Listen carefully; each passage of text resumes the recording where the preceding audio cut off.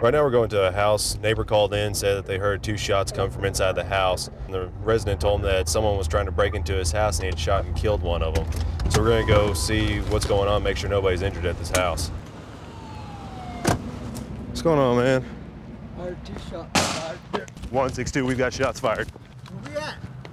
He's shooting from this house right here on the corner. Watch out. We got one subject inside the living room. I can see him moving around. This is the police. Open the door. Come out with your hands up. He's out front. Get your hands up! Keep them up! Walk to me! Walk to me! Stop, stop. Get in on your knees! Down. Get on your knees! Door. Who else is in there?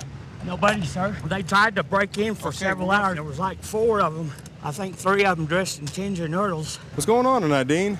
I don't know. I, I don't know them. Uh, they were trying to break in. Who was trying to break in? I don't know them. You don't know? them? No. Where were they trying to break in at? Almost everywhere. I, I had uh, the back doors blocked uh, That, that last shot you just shot, where'd you shoot it off at? in that house. I mean, did you shoot through the front door or where'd you shoot it at? Like, where were you aiming for? Uh, he was trying to hide behind the door. And I told him, I said, this will go through that door. Lucky my neighbor woke up and heard the gunshots and he thought I was, you acting crazy? And I said, no. I said, they're trying to break in. Call the police for me. Well, I saw one of those ninja guys and I fired away again. Okay.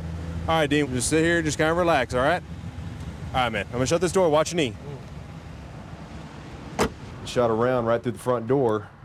Went through both front door and the screen door and landed out here in the front yard, probably about 15 feet away from about where we were standing. The hairy situation with guys shooting rounds off inside of his house and especially not knowing what he's shooting at. I don't know if this is a stolen car. I don't know what's going on. No. You obviously have something that you feel like you need to hide from me, and you need to know this. Okay, I stole the car.